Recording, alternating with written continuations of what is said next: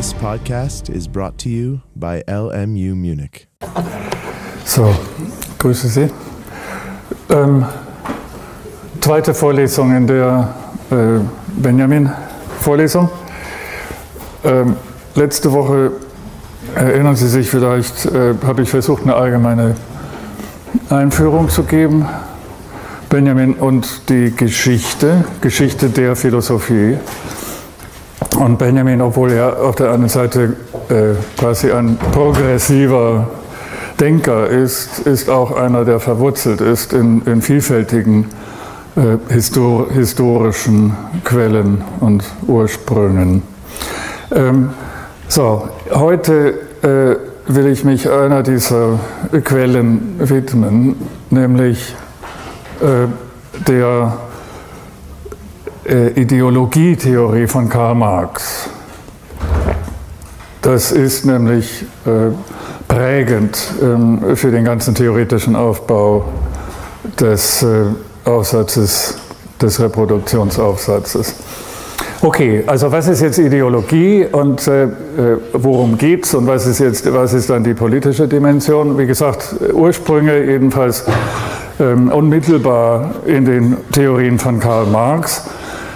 Und der erste Gedanke bei der Ideologie ist die Vorstellung, ja, Ideologie, das ist so falsches Bewusstsein, das ist das, äh, sind alle, alle möglichen ähm, Glaubenselemente oder abergläubischen Elemente, beispielsweise ähm, auch in der Religion, die ähm, dazu dienen, Leute zu blenden.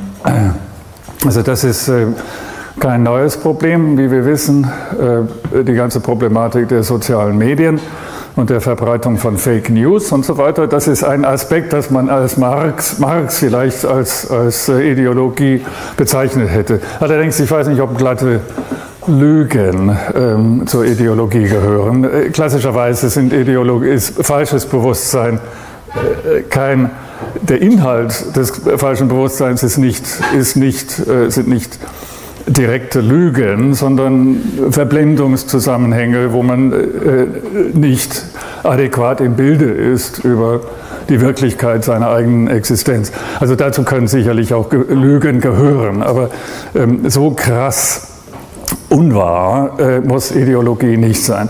Gut, aber jedenfalls ist die, der Hintergrund bei Marx äh, ist der Gedanke, dass äh, zur Ideologie ähm, und da, damit äh, zum falschen Bewusstsein gehören Elemente wie äh, nicht nur Religion, das ist die klassische Vorstellung, weil aus Marxens äh, atheistischer Sicht ähm, ist die Religion eine eindeutige ein eindeutiges Blendwerk. Äh, nicht nur die Religion, sondern eben auch die Kunst. Äh, Kunst ist äh, oder wäre oder quasi so ähm, tradiert. Kunst wäre etwas aus marxistischer Sicht, was höchstens ähm, dem, in der Freizeit was zu genießen wäre und da, dabei auch allerlei äh, äh, ideologische Elemente enthalten würde. Also Marx, ähm, oder jedenfalls, aus, ich glaube nicht, dass das auf Marx selbst zutrifft, aber die, der Ansatz wäre aus, aus, aus harter marxistischer Sicht, ähm, dass die Kunst eher mit Vorsicht zu genießen ist und meistens instrumentalisiert wird von den herrschenden Kräften, um eben äh, die arbeitende Masse äh, über, die, über seine eigenen politischen Interessen zu täuschen. Also das ist quasi der Ansatz erstmal mit diesem, mit dieser, diesem Gedanken der Ideologie. Und wenn man das so ähm, verfolgen würde, ist das natürlich eine klassische Position, das findet man schon bei Platon in der Politeia, wo Platon eben auch äh, zum Ausdruck bringt, dass die Kunst allenfalls ein Abbild eines Abbildes, eines tendenziell falschen Abbildes ist und, da, und dadurch umso mehr falsch. Und äh, umso mehr ein Bereich ist, äh, wo man mit Vorsicht ähm, vorgehen muss. Okay, also der Gedanke, äh, das ist, äh, der klassische Ansatz ist, Kunst ist Blendwerk und deswegen nicht ähm, kein würdiger Gegenstand der ähm, Philosophie oder überhaupt der Moral oder sonst was. Also es ist etwas, wie auch Horaz sagt, ähm, es sind äh, gefällige Süßigkeiten, mit denen man bestenfalls moralische Lehren verabreicht. Das ist dann der, ein anderer klassischer Ansatz. Ähm, also etwas Nebensächliches und nicht so Wichtiges.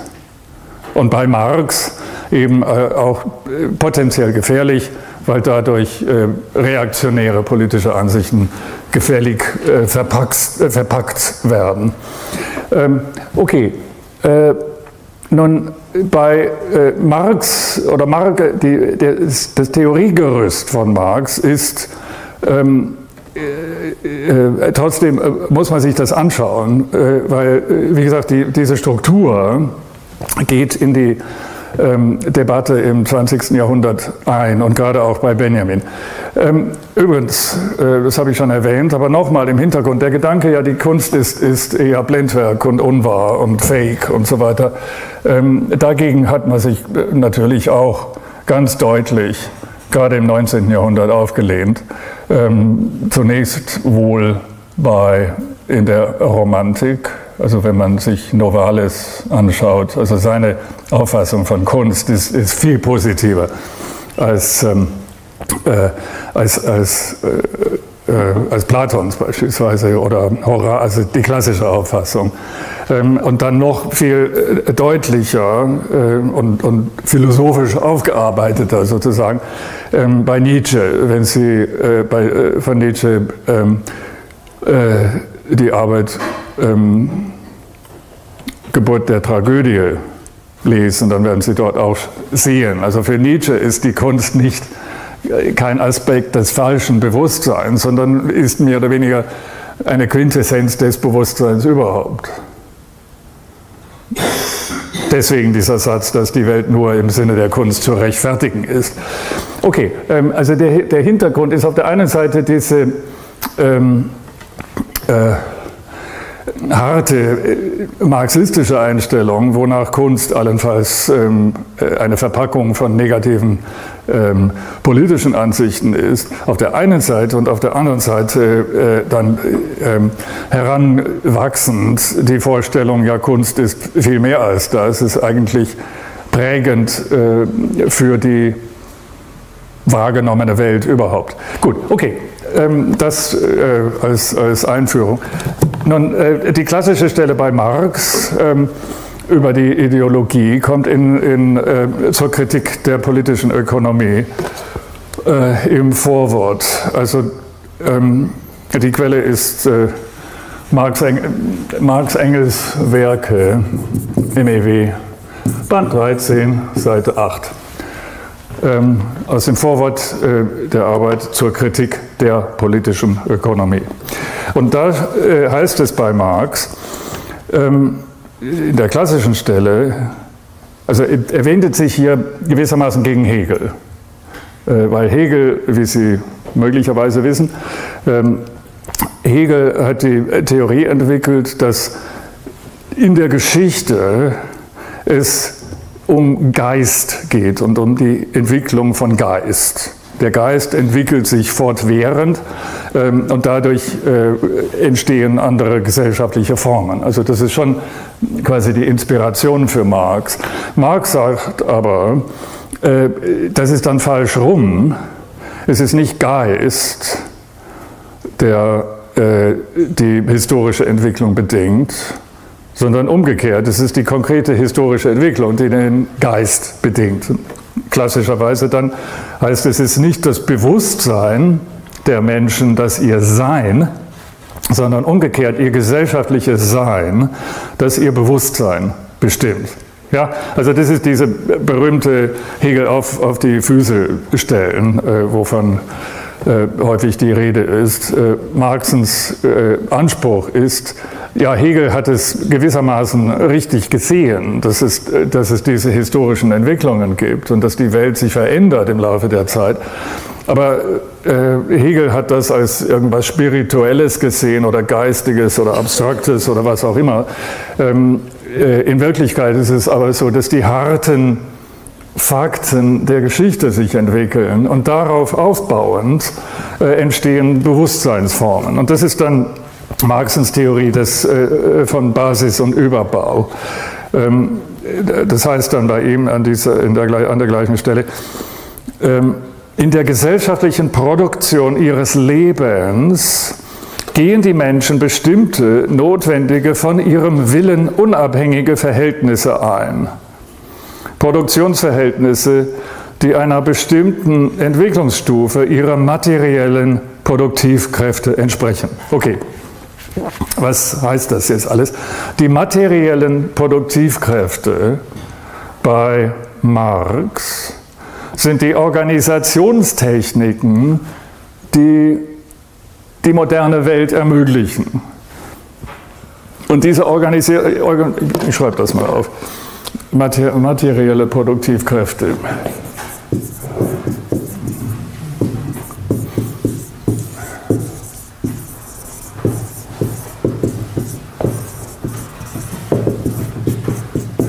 Okay, also die materiellen Produktivkräfte sind alles, was dazu führt, dass der Mensch, also heutzutage, eine, Industrie, eine Industriegesellschaft aufbauen kann. Das wären dann am wichtigsten, also natürlich ist, ist wichtig die, die, die physische Technologie, also Dampfmaschinen und, äh, und was sonst noch alles. Also dass die, die industrielle Produktion ermöglicht auf technischer Ebene. Aber genauso wichtig oder gegebenenfalls noch wichtiger sind die gesellschaftlichen Organisationsformen. Und das sind zunächst mal Kapitalbildung, also die Möglichkeit, dass sich Arbeit oder die Früchte der Arbeit ansammeln. Also Kapital ist angehäufte Arbeit. Und das ist, ich meine, wenn, wenn ich jetzt äh, 10.000 Euro auf der Bank habe oder, oder irgendwas, das ist etwas, was meine Arbeit, ja, normalerweise, also meine Arbeit darstellt, aber auf eine transferierbare Art und Weise. Es liegt da, ich kann es abrufen. Ich muss dann nicht jedes Mal, also jedes Mal, wenn ich also das Bild wäre in einer primitiven Gesellschaft, ähm, ich brauche, keine Ahnung, ein neues Hemd oder irgendwas. In der primitiven Gesellschaft muss ich dann rausgehen und mir irgendwie ein Hemd herstellen oder ein, ein, äh, ein, ein Tier äh, töten und ähm, dann mich äh, mit, mit, dem Fell bekleiden oder irgendwas. Also das ist so quasi das, die primitive Situation ist, dass Bedürfnisse immer nur unmittelbar durch eine direkte, zeitgleiche Tätigkeit gedeckt werden können. Ja, das ist die ultimative analoge Welt. Aber sobald die Möglichkeit von Kapital entsteht, das heißt, dass meine Arbeit gestapelt, angehäuft, angespart werden kann, dann verwandelt sich meine ganze Tätigkeit. Das führt zu allerlei äh, Möglichkeiten, die ich vorher nicht hatte. Beispielsweise, ich muss in der primitiven Welt, so jedenfalls, die, na, natürlich ist das eine Karikatur, aber in der primitiven Welt, wie gesagt, ich muss jedes Mal, wenn ich was brauche, muss ich das dann direkt erledigen. Ich kann das nicht irgendwie abrufen oder in den Laden gehen und kaufen oder sonst was, sondern ich muss das Tier schlachten ähm, oder äh, äh, ja, was auch immer. Ähm, also die, diese, diese Unmittelbarkeit, verhindert, dass aus meiner Arbeit mehr wird als das, was ich jedes Mal direkt unternehme. Aber natürlich, wenn Kapital oder die Kapitalbildung, ähm, äh, eigentlich ist das noch kein Kapital, es ist nur Geld, aber trotzdem. Also wenn diese Möglichkeit erstmal entsteht, dann kann ich ähm, vor, also, äh, vorab arbeiten und erst später die Früchte meiner Arbeit einlösen. Also typischerweise dann, dass ich äh, anstatt jedes Mal meine unmittelbaren Bedürfnisse unmittelbar äh, zu befriedigen, arbeite ich dann auch für andere Leute. Ich spezialisiere mich auf irgendwas. Bin ich ein Schuhmacher oder keine Ahnung was, ich mache dann, äh, dann Schuhe, mehr als ich selber brauche. Also nicht meine unmittelbaren Bedürfnisse, sondern auch für andere. Und bekomme von denen, also in der primitiven Gesellschaft würde ich dann ähm, äh, eine materielle Gegenleistung, also vom Bäcker würde ich dann Brot bekommen. Ich gebe ihm Schuhe, er gibt mir Brot. Ähm, das ist quasi der, die, die, die, äh, primitive Tauschwirtschaft. Also ein bisschen mehr als nur unmittelbare ähm, Bedürfnisbefriedigung durch mich selber. Aber immer noch primitiv. Aber sobald, das, sobald es Geld gibt, kann ich quasi auf Vorrat äh, meine Schuhe herstellen und dann äh, verkaufen, was auch immer. Ich, dann erhalte ich eben nicht materielle Gegenleistungen, sondern eben Geld. Also das ist ein höheres Abstraktionsniveau. Und durch dieses Abstraktionsniveau bildet sich dann also die Möglichkeit, ein paar Stufen weiter, dass ich auf der Bank 10.000 Euro liegen habe und nicht nur einen Haufen Schuhe, die ich dann noch verkaufen muss oder, oder was auch immer. Ähm, okay, also das ist der erste Abstraktionsschritt. Der weitere Abstraktionsschritt ähm, zum Kapital äh, ist die Möglichkeit, größere Mengen von diesem Geld zu sammeln, auch von anderen Leuten. Also der Kapitalist hat nicht nur das, das Geld, das er selber verdient hat, sondern er hat auch das Geld anderer Leute. Der Kapitalist ist einer, der Geld einnimmt von, also heute würde man sagen, äh, Investoren und bildet damit Kapital. Und damit, also sobald Kapital gebildet wird, also in einer primitive oder auf einer primitiveren Stufe, äh, kann, äh, verdiene ich genug Geld, um, um, um meine, mein Werkzeug zu kaufen, vielleicht, damit ich meine Schuhe ähm, äh, herstellen kann. Ähm, aber nicht mehr als das. Aber der Kapitalist bündelt nicht nur die Früchte seiner eigenen Arbeit, sondern auch die Früchte äh, der Arbeit anderer Leute. Und dadurch entsteht Kapital und das ist viel mehr und viel mächtiger ähm, als, als, als nur äh, äh die Verdienste des Einzelnen. Ähm, und das wiederum äh, ändert ebenfalls die ganze Situation. Das ist das Gesetz von wie heißt das nochmal, Verwandlung von Quantität in Qualität. Also wenn ich genug von diesem Kapital habe oder von, wenn ich genug Geld habe, dann verwandelt es sich in Kapital. Und Kapital ist was anderes in dem Sinne, dass ich dann viel mehr unternehmen kann, als, als ich vorhin hätte unternehmen können. Ich kann eine ganze Industrie aufbauen. Also ich brauche dann nicht mehr meine Schuhe oder äh, ich mit meinem äh, äh, Azubi oder irgendwas äh, Schuhe herstellen, sondern ich kann etwas viel Größeres, eine ganze Schuhfabrik ähm, aufbauen, weil ich eben das Kapital, die Früchte der Arbeit von anderen Leuten ebenfalls ähm, einbringen kann. Ähm, gut, also wenn wir so weit sind, das ist der Markt. Wir haben, also wir haben äh, von, von Anfang an gewissermaßen haben wir einen Markt für die Schuhe, dann haben wir einen Markt für Kapital. Das ist eine höhere Abstraktionsebene. Also die erste Abstraktionsebene, ich abstrahiere von den Gegenständen, nämlich den Schuhen, auf, auf die Ebene Geld. Die zweite Abstraktionsebene, ich abstrahiere von dem unmittelbaren ähm, äh, Entgelten meiner Erzeugnisse auf, auf das Ansparen oder Anhäufen von Geld überhaupt. Und das ist dann Kapital, also zwei Abstraktionsstufen mindestens. Ähm, gut, das wiederum, also was ist jetzt die, ähm, äh, die neue Qualität, die daraus entsteht? Die neue Qualität äh, ist, dass ich, dass die Welt ähm, der Arbeit sich verwandelt.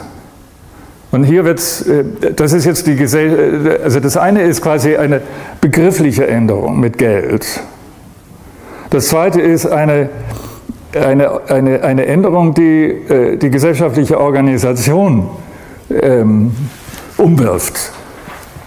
Und das ist die Entwicklung des Arbeitsmarktes. Also wir hatten schon äh, einen Markt für Gegenstände, einen Markt für Geld und jetzt haben wir einen, einen Markt für Arbeit. Und das äh, folgt in der Form, ähm, dass Anstatt dass äh, Leute sich äh, beliebig äh, vielleicht als äh, Schuhmacher oder Bäcker betätigen und ihre Erzeugnisse dann anbieten, das machen sie jetzt nicht mehr. Das ist quasi das klassisch äh, feudale Handwerksmuster. Jetzt läuft es anders, indem sie sich als Arbeitskräfte ganz abstrakt auf dem Arbeitsmarkt anbieten müssen. Der Handwerker in der feudalen Gesellschaft oder in der primitiveren Gesellschaft macht seine Erzeugnisse und verkauft sie. Und was auf dem Markt erscheint, sind nur seine Schuhe, nicht er selbst. Aber wenn ich Kapital habe und dann brauche ich Arbeiter, und zwar viele, wenn ich eine Industrie aufbauen will, dann brauche ich einen Markt. Ich kann nicht einfach warten, bis irgendwelche Leute kommen und sagen, ja, ich kann ganz gut, äh, was auch immer, ähm, drechseln oder, ähm, oder, oder Wolle spinnen oder sonst was. Das geht nicht. Ich, das, ich muss mich davon, darauf verlassen können, dass es einen Markt gibt, wo ich bestimmen kann, was ich brauche. Der Käufer ist König hier. Der Käufer ist der Kapitalist. Der Kapitalist kommt auf den Markt und kauft ein. Er kauft natürlich Rohmaterialien für seine Erzeugnisse ein und außerdem kauft er Arbeitskräfte ein. Und das ist eine Verwandlung, das ist eine tiefgreifende, so Marx jedenfalls, eine tiefgreifende organisatorische Verwandlung ähm, der alten gesellschaftlichen Strukturen. Und das sind alles materielle Produktivkräfte. Also die materiellen Produktivkräfte für den Industrialisten, der jetzt Schuhe herstellt, sind einerseits die technischen Bedingungen. Er braucht Maschinen, mit denen er die Dinger herstellen kann. Aber noch viel wichtiger sind die organisatorischen Bedingungen, nämlich Kapitalmarkt. Also irgendwoher muss er das Geld kriegen, um sein, seine Fabrik zu bauen. Keiner, also oder fast keiner heutzutage äh, beginnt industrielle ähm, Projekte ohne Geldkapital irgendwo einsammeln zu müssen. Geht zur Bank oder, oder was auch immer. Ähm, äh, also das ist die andere Vorbedingung und die wichtigste Vorbedingung von allen, jedenfalls so Marx, ist der Arbeitsmarkt.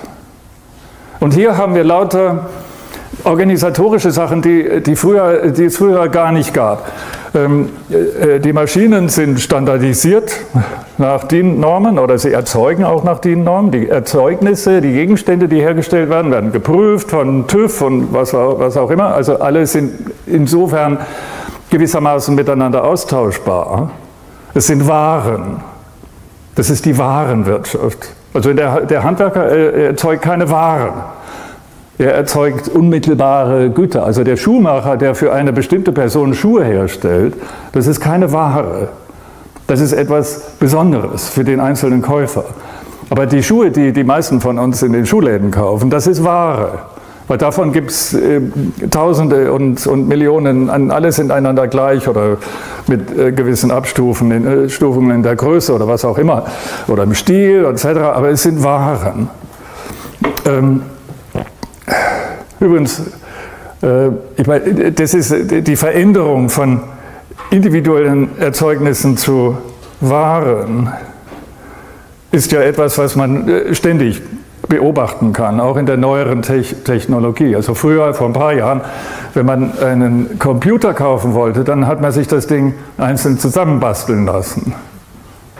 Und das war dann gewissermaßen also ein handwerkliches ähm, Produkt. Aber heutzutage würde das kein Mensch machen. Das kauft man einfach bei Aldi in irgendeiner Form. Das sind die Waren.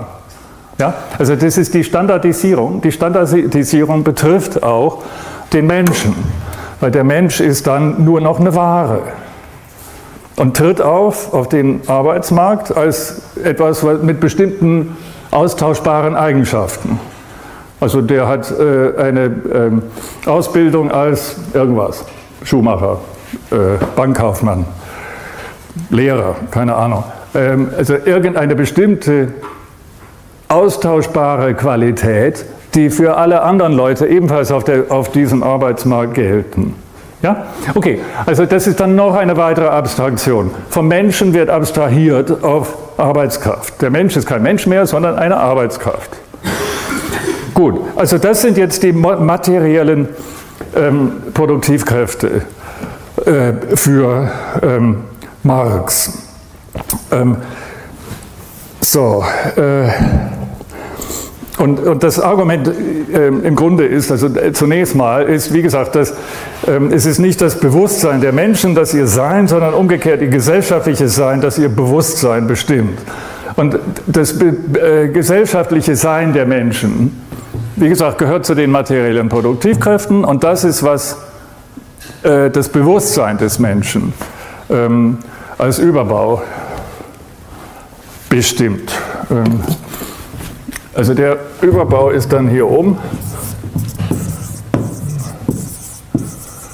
Und ähm, das Argument quasi gegen, gegen Hegel ist, ähm, ja, Hegel hätte irgendwie gedacht, dass, dass ähm, die Philosophen oder die, die, die, Philosophenkönige hier oben könnten bestimmen, äh, wie die Welt sich entwickelt. Und das ist dann die Geschichte auf der Bewusstseinsebene, auf der bewussten Ebene. Nein, sagt Marx, das ist äh, eine Illusion. Eigentlich ist es andersrum. Es kommt von unten. Also der, der, die Basis hier unten äh, bestimmt den Überbau, nämlich ähm, das Bewusstsein. Äh, okay, ähm, aber,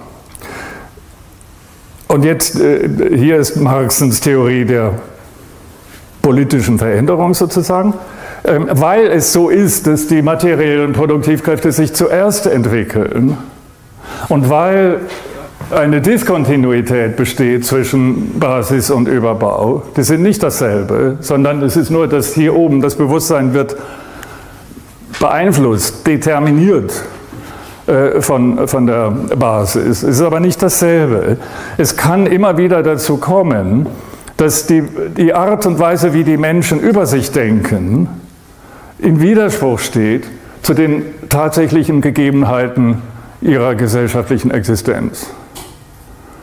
Ähm, und das ist vor allem so, äh, bei, äh, dann, äh, wenn diese gesellschaftlichen oder die materiellen Bedingungen sich rasch verändern, weil dann kommt der Überbau nicht nach.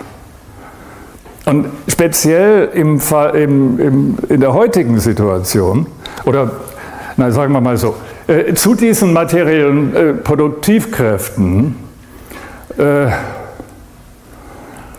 gehören, nein, andersrum, ähm, also zum Überbau gehören auch juristische, also Marx sagt auch juristische und politische und künstlerische und religiöse Elemente. Und aus den juristischen Elementen fließen schon materielle Bedingungen. Ich meine, das Recht auch für Marx, es kann sein, dass das Recht quasi ähm, dem, äh, die Basis irgendwie reflektiert, aber die juristischen Elemente sind ein Versuch des Menschen, auf der Bewusstseinsebene äh, sich ähm, mit, dem, mit, dem, mit der Basis zu arrangieren. Und in der bürgerlichen Gesellschaft oder überhaupt ähm, funktionieren die juristischen Elemente so, dass die Eigentum definieren. Also die juristischen Elemente auf, innerhalb der Basisüberbaustruktur, das sind die Elemente, die die Eigentumsverhältnisse definieren. Also die Eigentumsverhältnisse sind quasi ein bisschen abseits.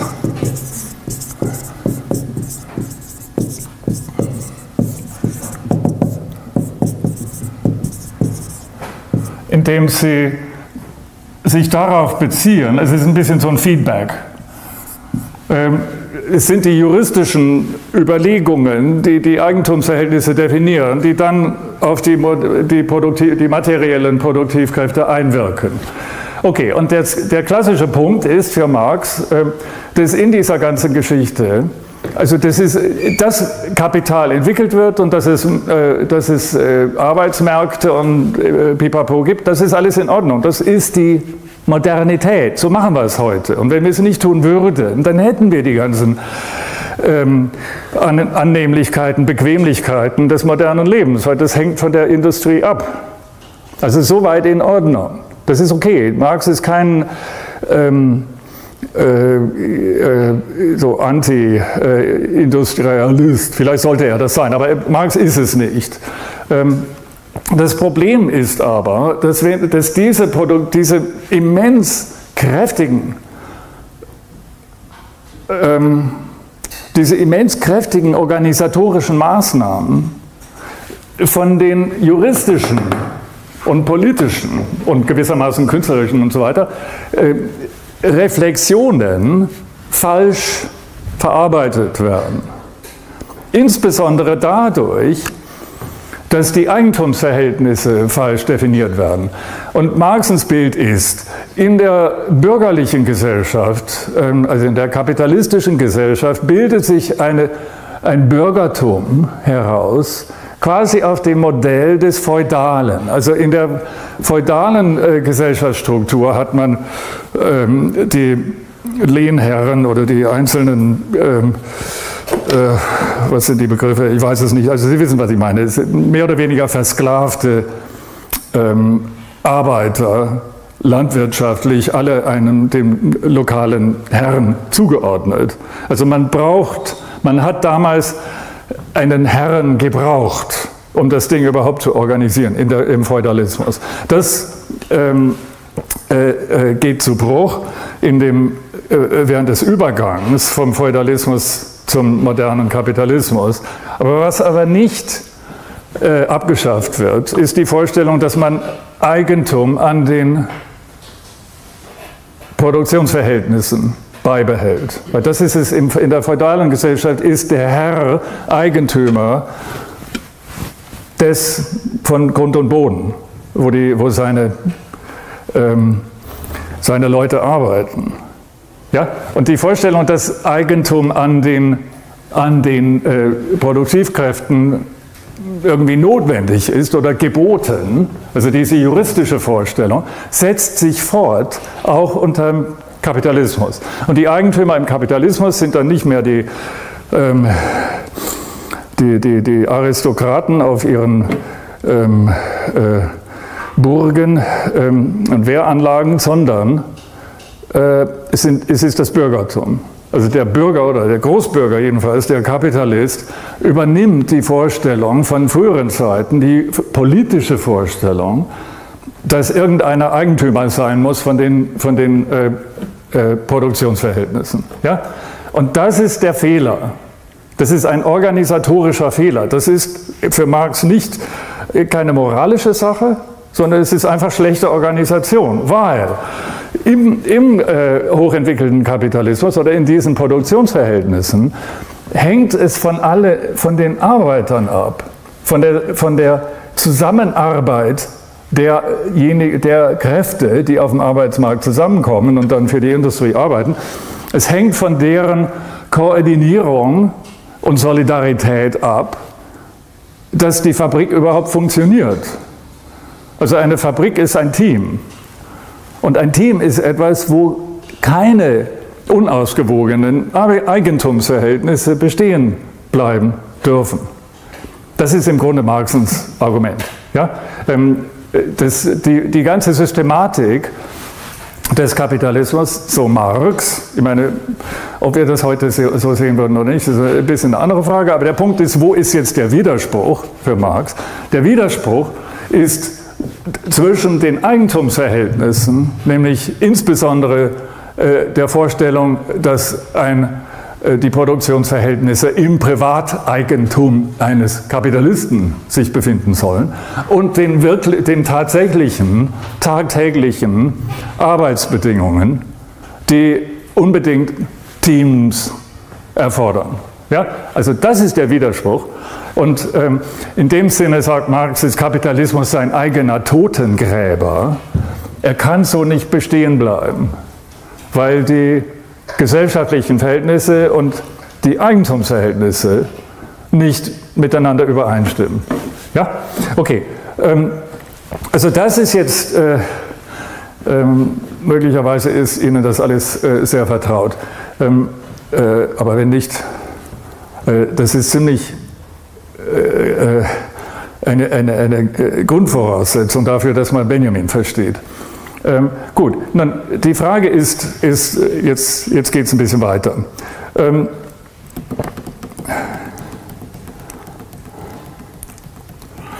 Ähm, die Frage ist, äh, ähm, also genau wie, das haben Sie gewissermaßen gemerkt, ähm, in dem Sinne, dass äh, diese, diese Feedback Loop ähm, erzeugt hier Eigentumsverhältnisse, die nicht zu den ähm, materiellen äh, Produktivkräften gehören und wichtiger sind als nur ein Bewusstseins, eine Bewusstseinsreflexion, weil sie tatsächlich einwirken auf dieses Einwirken auf und äh, konfligieren mit den materiellen ähm, Produktivkräften.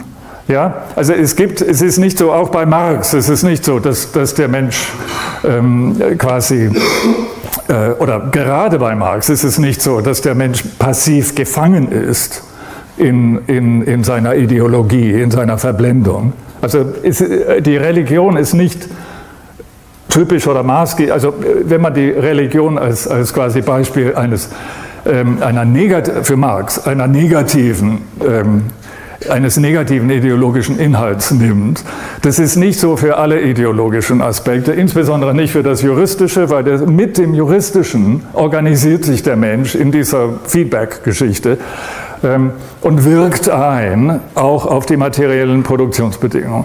Okay, also das ist, das ist nicht, äh, es ist nicht die, die, die Wirkung ist nicht nur von unten nach oben, sondern kommt auch wieder runter unter bestimmten Aspekten. Und diese Überlegung, dass der Mensch nicht nur quasi Opfer von irgendwelchen mehr oder weniger physischen Vorgängen ist, das ist etwas, was gerade im 20. Jahrhundert wieder ganz wichtig wird. Ja, ich meine, im 19. Jahrhundert mit Marx, mit äh, Positivisten wie Kant, mit John Stuart Mill, äh, mit diesen ganzen Leuten, die waren alle, alle äh, hatten der Vorstellung, ja, es gilt halt die harte Naturwissenschaft. Ähm, es, die Wirklichkeit ist halt das, was da draußen ist. Was der, wie, der Mensch sich, wie der Mensch darüber denkt, ist alles völlig sekundär. Ähm, und wir brauchen nur harte Fakten und dann können wir entscheiden, äh, wie die Welt äh, vorangeht und wozu sie, äh, welche Ziele sie anstrebt. Ähm, Im 20. Jahrhundert ist, dann, ist das dann wieder ein bisschen anders. Dann kommt man wieder doch zu den Gedanken, naja, irgendwie muss der Geist, der viel gescholtene Geist bei Hegel doch eine Rolle spielen ähm, und nicht nur ähm, äh, Abglanz äh, äh, der Basis sein. Okay, und hier haben wir dann die wichtige Stufe, ist ein Versuch, Hegel wieder ein bisschen zu importieren. Und der entscheidende Denker in diesem Zusammenhang ist Georg Lukács.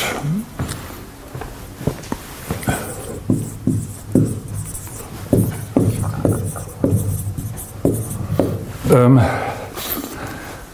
Lukács schrieb 1923 äh, den sehr einflussreichen Text ähm, Geschichte und Klassenbewusstsein. Geschichte und Klassenbewusstsein.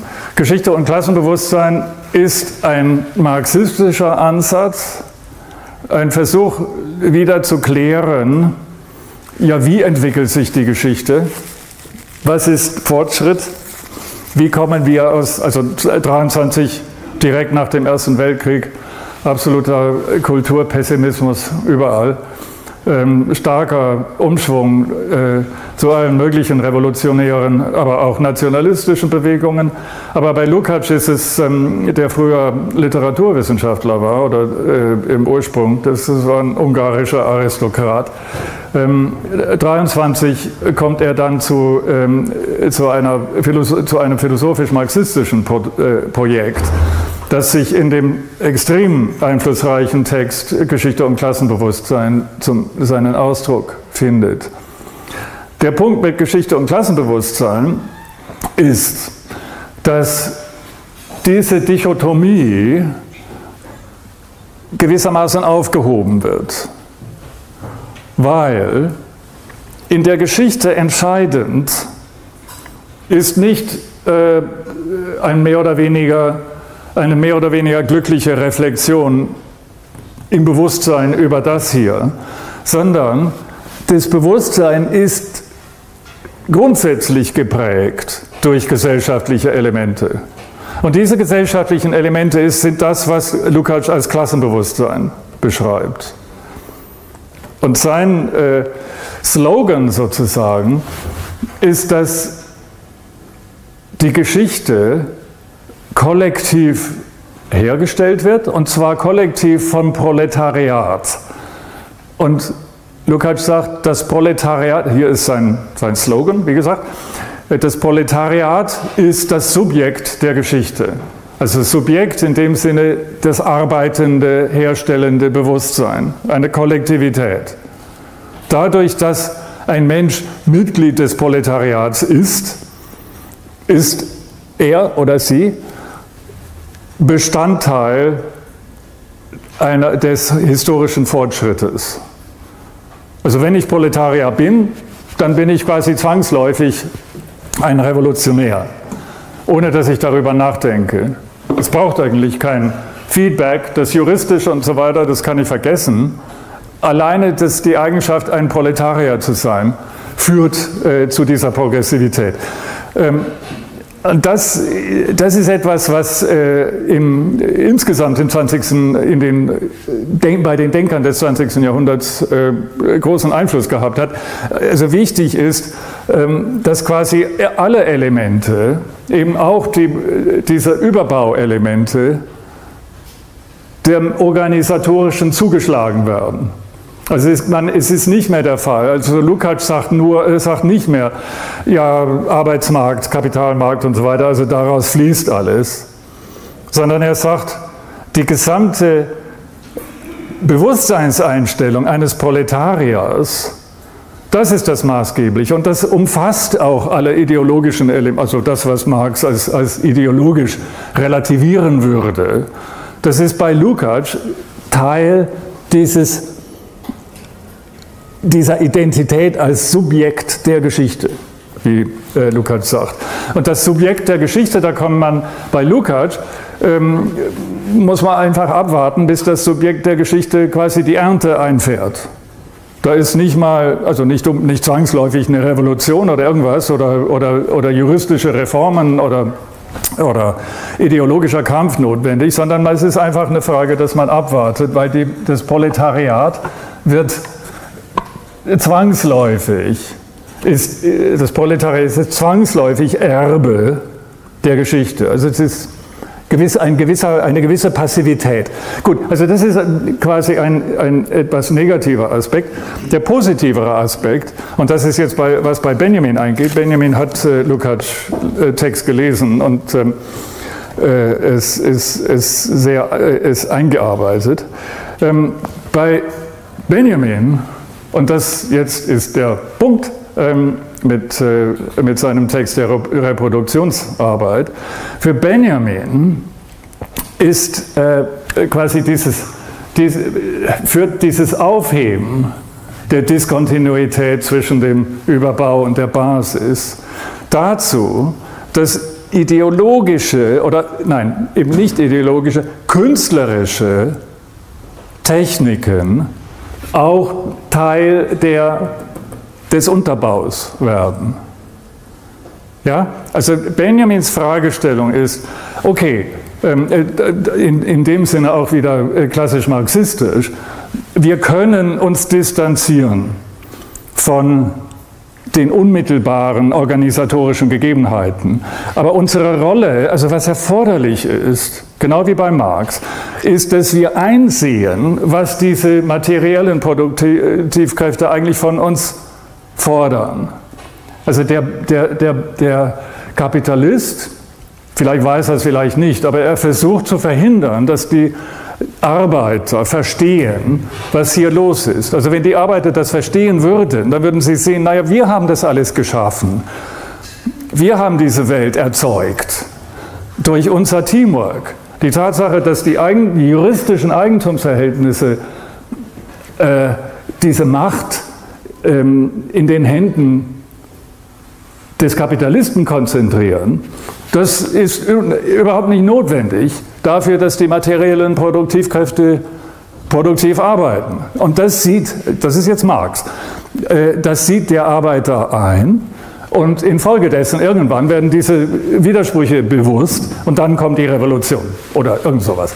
Ähm, das ist etwas, was bei äh, Lukács ein bisschen verloren, verloren geht, weil der Proletarier, wie gesagt, äh, wird automatisch die Ernte einfahren, ohne, ohne dass er besonders darüber nachdenken müsste.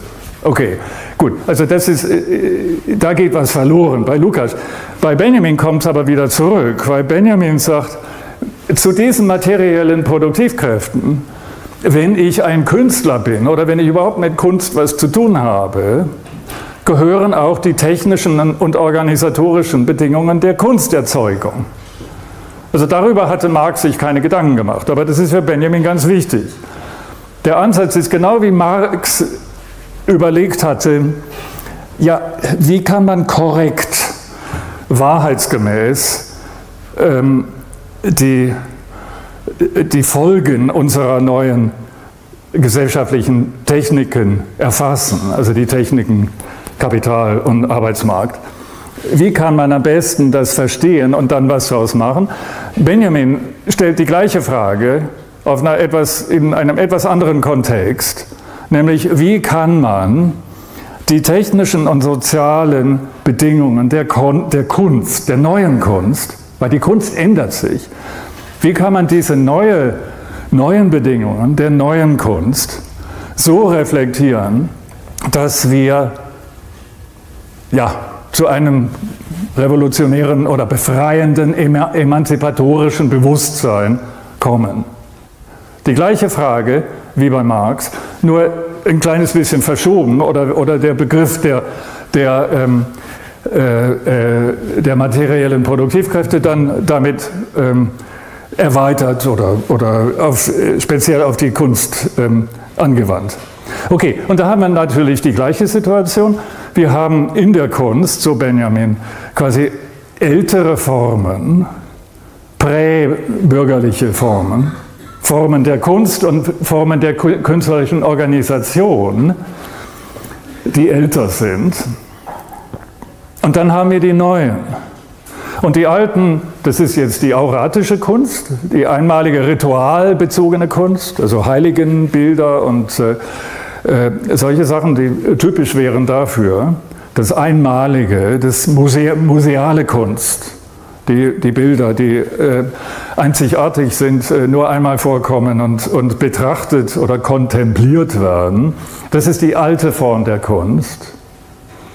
Die existiert weiterhin, aber wir dürfen uns von diesen alten Formen nicht blenden lassen. Es gibt dann auch die neuere Kunst.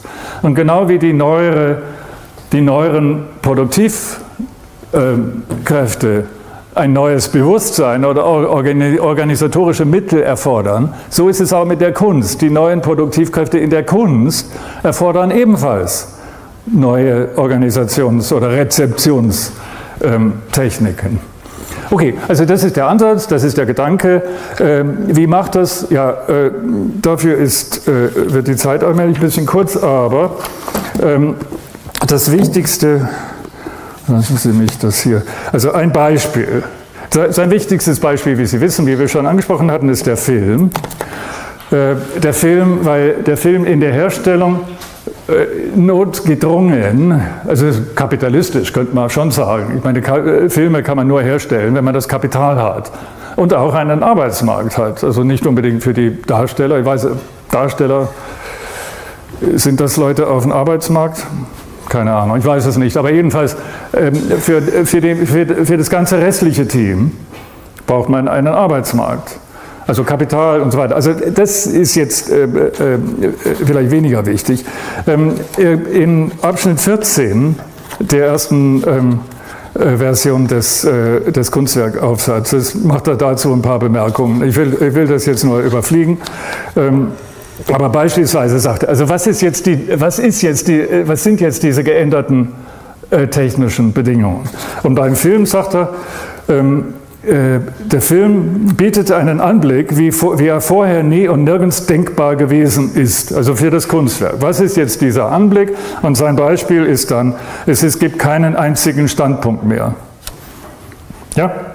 Ähm, also das heißt, im Film, die Kamera nimmt immer wieder unterschiedliche Aspekte auf und der Cutter schließt sie dann zusammen. Aber das ist so quasi eine künstliche Konstruktion, die vorher auch nie möglich gewesen wäre. Also in der, äh, ja, gut, äh, sagt Benjamin jedenfalls. Ähm, das ist, das ist, er sagt, seine illusionäre Natur des, vom Film ist eine Natur zweiter Ordnung. Sie ist ein Ergebnis des Schnitts. Das heißt, im Filmatelier ist die Apparatur derart tief in die Wirklichkeit eingedrungen, dass deren reiner vom Fremdkörper der Apparatur freier Aspekt das Ergebnis einer eigenen technischen Prozedur äh, ist. Also es ist die Montage, diese Technik der Montage. Also ob, ob, man jetzt unmittelbar von diesem Beispiel überzeugt ist oder nicht, das äh, spielt jetzt keine große Rolle. Aber Benjamin sucht nach Elementen und es gibt die sicherlich, ähm, wo die neuere Kunst, hier am Beispiel des Films, strukturell unterschiedlich ist von allen vorangegangenen äh, Kunstgattungen. Ja? Und diese Veränderung, sagt Benjamin, ist nicht nur analog mit den Änderungen in den materiellen Produktivkräften der Industrie oder, oder, oder der, der Wirtschaft, sondern ist auch ein Teil. Und das ist der zweite, der zweite Punkt, den er macht. Also insofern auch politisch. Die, Punkt, äh, äh, die Kunst ist zwangsläufig politisch, sagt, äh, sagt Benjamin. Und das ist der zweite Punkt, den er dann in äh, Abschnitt 15 äh, von der ersten Version bespricht. Ähm, äh, und wieder, das ist ein Beispiel, das Sie vielleicht akzeptieren oder vielleicht auch nicht, aber er sagt, ähm, die, der Film ähm, erfordert oder lädt ein zu einer Kollektivrezeption. Hm, ja, also der Film, der Film findet statt mit im Kino mit vielen Zuschauern. Das ist natürlich wieder jetzt mit Netflix und Co. wieder anders, aber damals jedenfalls. Ähm, das, Phänomen äh, die Zuschauer strömen ins Kino und betrachten äh, und schauen sich einen Film an. Das ist etwas, was es vorher in der Form nicht geben konnte. Also auch, dass die Zuschauer in viele Kinos überall ähm, im Land sich denselben Film anschauen gleichzeitig. Das ist auch diese Kollektivrezeption. Ein, ein weiterer Aspekt auch davon, also das, wie Sie wissen, er sagt äh, auch äh, einiges mehr als das alles, aber er sagt, egal, äh, wie gesagt, ähm, äh, ob wir dieses, äh, diesem Beispiel zustimmen würden oder nicht, ist eine andere Frage. Aber für die gesellschaftliche Komponente der Produktionskräfte, sagt er auch, das führt dazu oder kann dazu führen, zu dieser anderen Art, äh, zu dieser anderen Art der Perzeption oder Aperzeption. Aufgenommen wird der Film zum einen als Zerstreuung, das haben wir letzte Woche ein bisschen angesprochen. Und äh, zum anderen kritisch. Also der, der, der Zuschauer eines Films setzt sich kritisch mit dem Film auseinander, auf eine Art und Weise, was er Beispiel, also sein, sein Beispiel, mit Picasso oder mit den Surrealisten nicht würde oder nicht trauen würde.